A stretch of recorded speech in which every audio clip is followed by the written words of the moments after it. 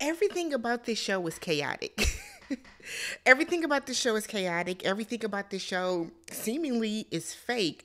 But let's talk about it anyways. What's good, y'all? I'm Tammy. This is Tammy Talks. Welcome back to the channel or welcome if it's your first time. We're here to talk the Never Ever Met Season 1, Episode 2. It's complicated in real life. If you are a brand new viewer or a returning viewer that is not yet subscribed, I hope that this is the video that changes your mind and gets you to hit that subscribe button. Thumbs up the video if you enjoy this particular piece of content, y'all.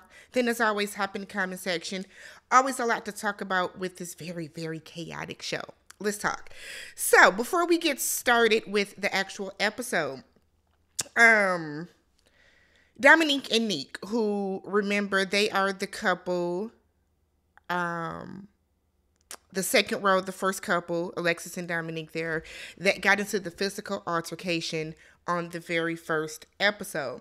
Well, Domonique decided to get into my comments and kind of let me know how wrong I was about everything and how, you know, we, the people that have an issue with, you know, domestic disputes, with violence, with physical altercations, how we're wrong.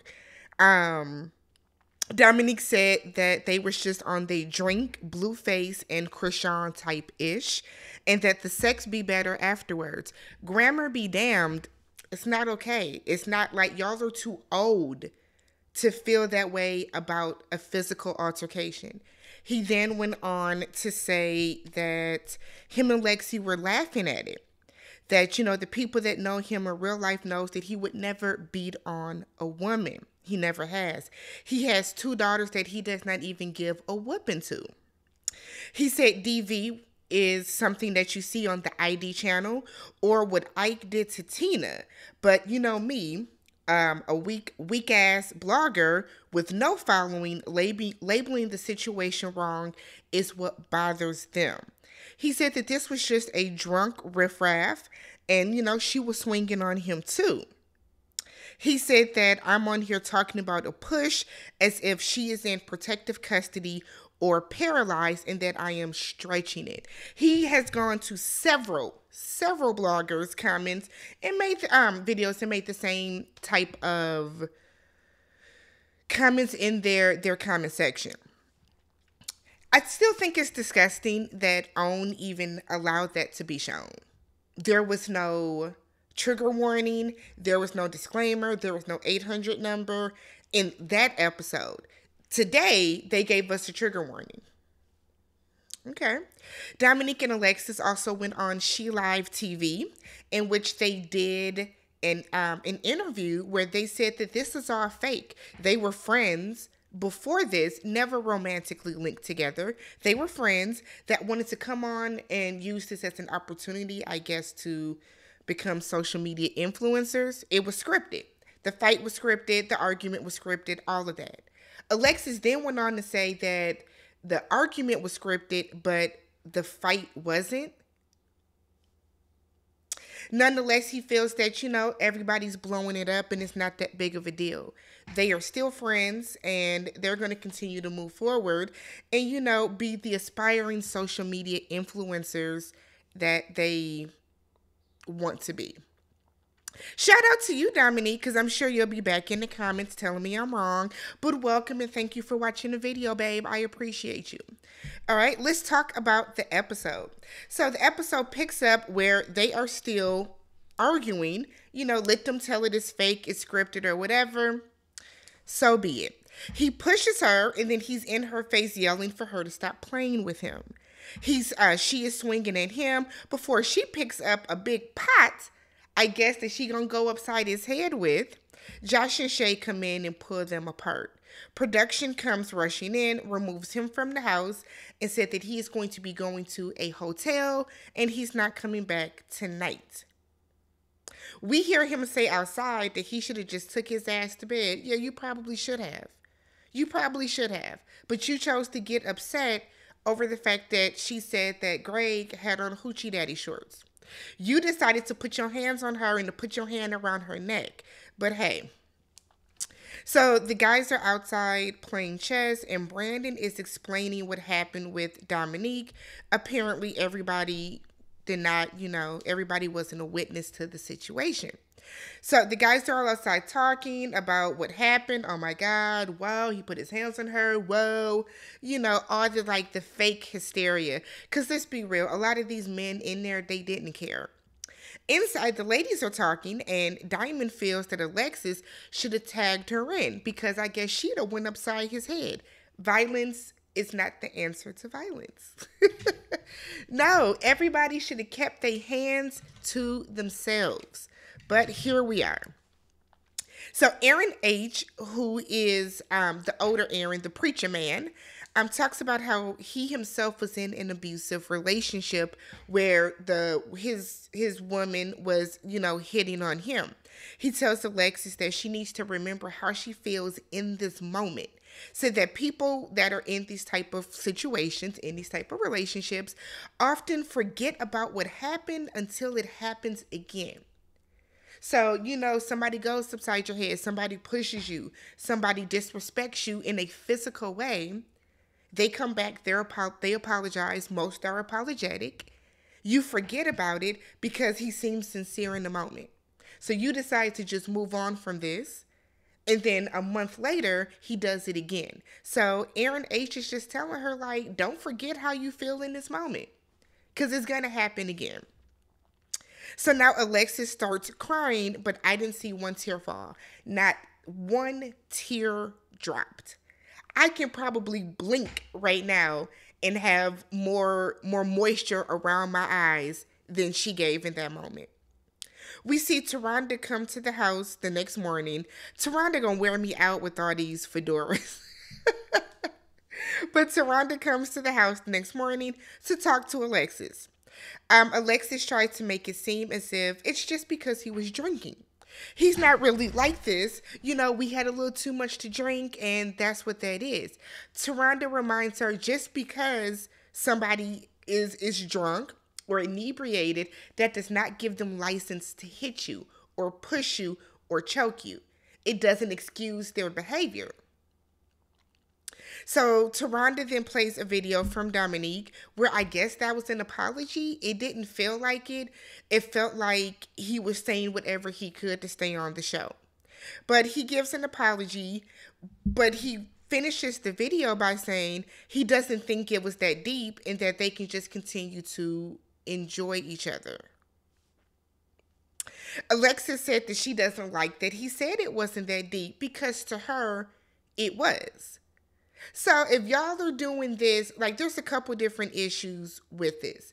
Either Alexis, you are laying it on super thick as if you are truly a victim in this situation, but you said that it was fake. So I don't know what's more disgusting. The fact that y'all would set this up, if it if it if that's true, that y'all would set this up, or the fact that knowing that you set it up, you're out here trying to act as act as a battered woman. It's disgusting. It's disrespectful to actual victims of DV. And it's just stupid. It shows a lack of common sense. It shows a lack of emotional maturity. It shows a lack of emotional intelligence. But here we are. So Ta'Rhonda tells her, okay, well, you know, y'all both got to leave. We have a zero uh, tolerance policy here. You got to keep your hands to yourself. So they have to leave. So we see Brandon and Millie talking. So she's open to moving to be with somebody if she is in love. So Millie is in New York. Not Millie, um, Sienna. My bad. So Sienna is open to moving to wherever somebody is if she is in love with them. So Sienna lives in New York, Brandon is in Florida. So they're talking about how they're going to get back together so that they can make some time to see each other, mainly with her coming down to visit him in Florida. She's like, Yeah, well, I'll see if I can make some time. I'll try to make some time. I'll try to make some time. Somebody put in my comments, shout out to you. It's interesting that these people had all these years where they could not coordinate meeting somewhere, but they showed they showed up bright and bright and early, ready to film this TV show. so I guess, you know, if there's like a continuation, Sienna would definitely be able to make the time. Girl, I don't care how much you work, how busy you are, you have a weekend that you can fly down to Florida.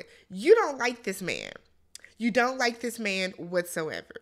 So we then see the ladies are all sad that Alexis is leaving, talking about they gonna miss her, the house is gonna be different. She has been there all of 12 hours. Y'all are not that torn up that this lady is leaving. Y'all don't know her. Y'all don't know her for real. I thought that was hilarious. So Domonique um is doing a confessional and he said that this was a character building situation for him. He's still young and it said for all the girls hit him up. No. We just saw you yoke up the girl that you're supposed to be with. We saw you put your hand around her neck. No, nobody wants to rock with you, sir. How do I know I'm not going to be next? Who, child? Like, okay.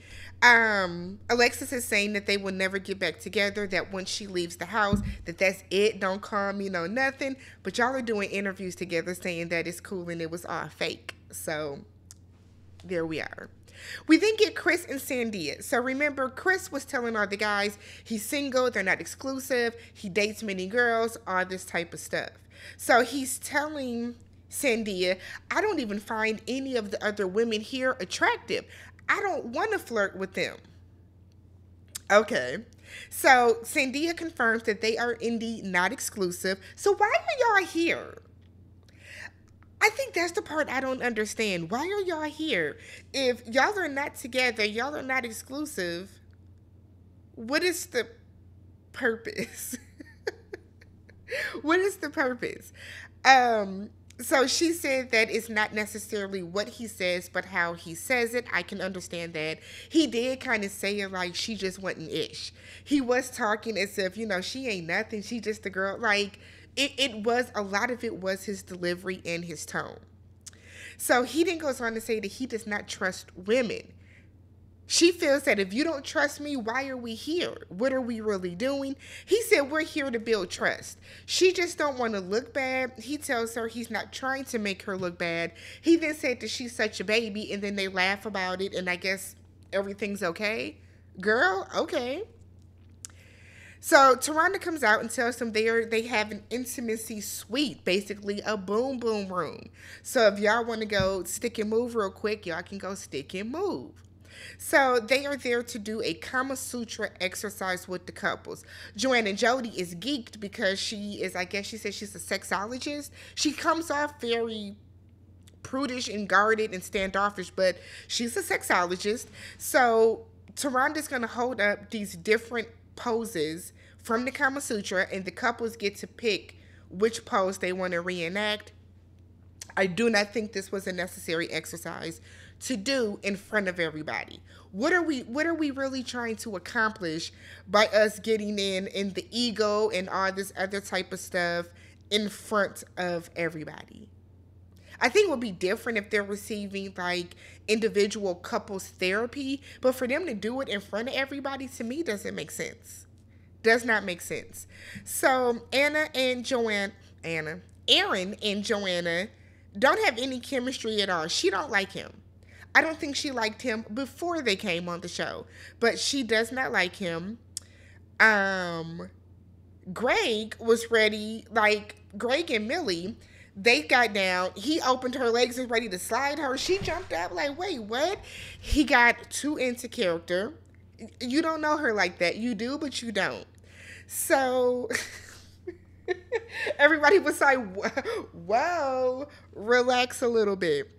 So uh, Sienna had a little attitude with Brandon. She picked a pose so most of the couples picked a pose outside of Aaron, Joanne, and Jody, and then Sienna and Brandon, where they are looking at the other person. The pose that Brandon and Sienna picked was trash. Okay, I don't even think that's a real pose. But Sienna had a little attitude with Brandon because he was like, he didn't like the pose. He was like, I feel like I'm getting ready to just watch TV.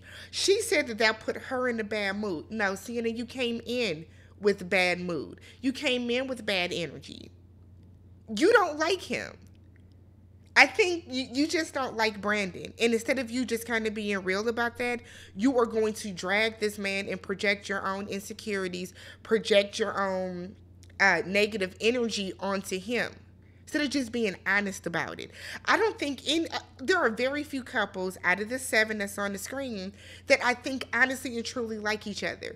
I think these people were dating just to have somebody to talk to, you know, when they bored, when they alone one night on the internet, maybe FaceTime, whatever the case, and the opportunity to be on TV because I feel like anybody that comes on these type of shows, this Love is Blind, Married at First Sight, Ready to Love, any of these shows, y'all are coming on because y'all want attention and y'all want to become an influencer, you want to become like a public figure. Y'all are not coming on truly to find love. And I feel like this show is no differently. So Brandon and Sienna are playing pool. And she randomly is like, let's talk about what we talked about earlier. Let's reroute to that conversation. She goes on to say that he should move to New York because if she moves in with him and they are not married, there is no incentive for him to want to propose. I agree with that, right? For for some people shacking up does work, but for some people shacking up just does not. There is no incentive for the man to propose if you're already in the house cooking and cleaning and doing all that type of stuff. When you're living as husband is living as husband and wife, a lot of times the man just does not feel the need to, you know, put a ring on it. He doesn't. He feels that she's very inconsistent with her answers and tells her that, like, you be flip flopping. You're flip flopping. She then tells him, Well, you know, you are the second or third person to call me inconsistent. He's like, like here or just in general. She said the last couple men that she has dated has called her inconsistent and that hurt her feelings. Sienna, what are we doing? Like, honestly, what are we really talking about here? If one person calls you inconsistent and you're like, dang, I'm not inconsistent, okay. By the time the second person in a relationship calls you inconsistent, there's a pattern. So it might be you, sis. So for this to be the third person and for you to just wig out like this, girl, you are inconsistent or you're a liar. I would have called you a liar. Inconsistent is putting it nicely. So he tells her, Well, you don't listen. When we're having conversations, you overtalk me. You listen long enough to respond, not long enough to understand, which is a lot of people's problems. A lot of people do not listen for understanding in a conversation. They listen so that they can respond to the person to get their point across so that they can win the argument out of the clear blue nowhere, she was like, "You a bitch." I, the way I paused my TV, girl, what? What are you mad about?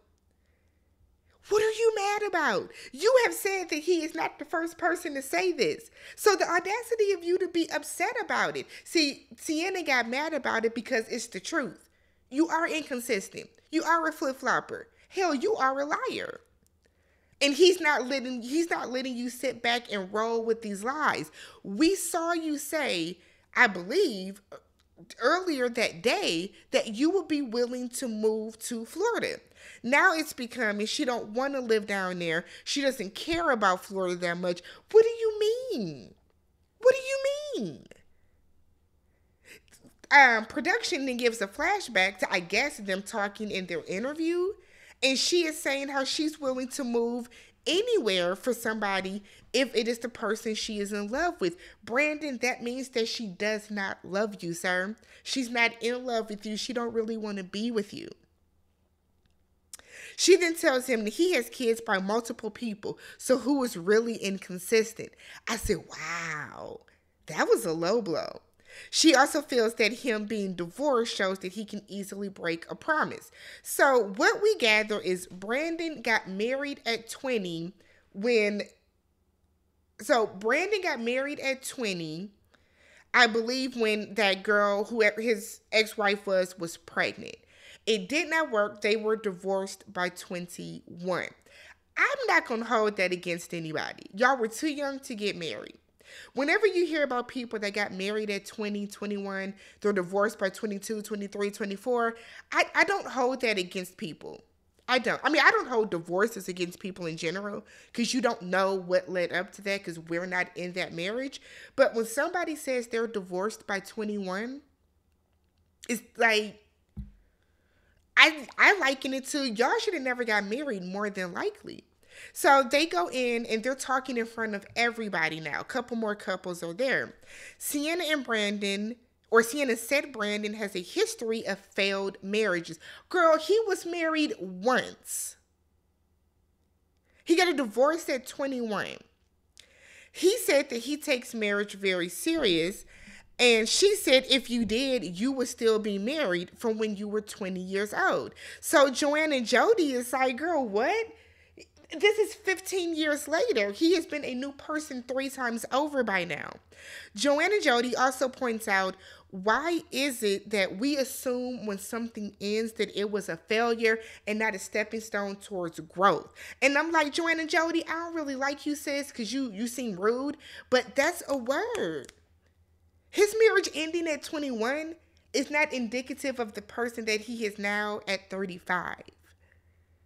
So uh, Sienna feels that he should have tried to salvage the marriage. You are grasping at straws. You are finding any reason you can to just not like this man. You are finding any reason you can to have an attitude with him. And it, it's weird. It's very weird and it's kind of off putting to say the least.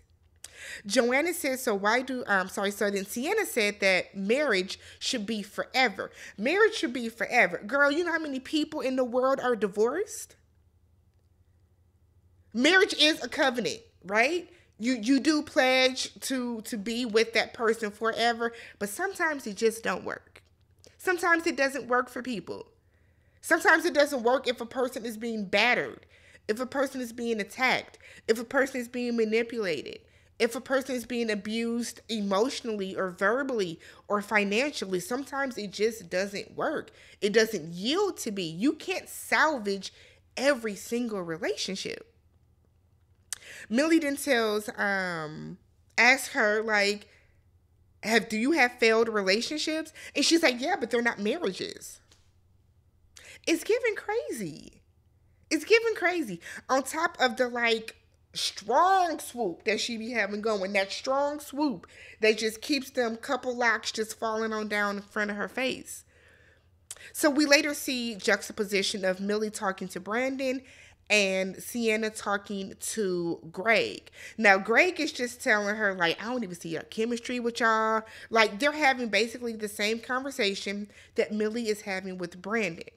So when Sienna comes up and goes to bed, she feels that it is just rude and, and disrespectful and out of line for Brandon to be talking about their relationship to anybody, let alone another woman. The only thing that I can see is like, why y'all talking in the girl's bedroom? Go sit down and talk more out in the open, I guess. But like, Sienna, why are you upset when you were you were literally just doing the same thing that he was doing? You sitting up there talking into to another man as well. Wowza. Let me know what you guys thought about this episode. If you haven't already, subscribe to the channel, thumbs up the video, and I will catch you guys in the comment section. Bye.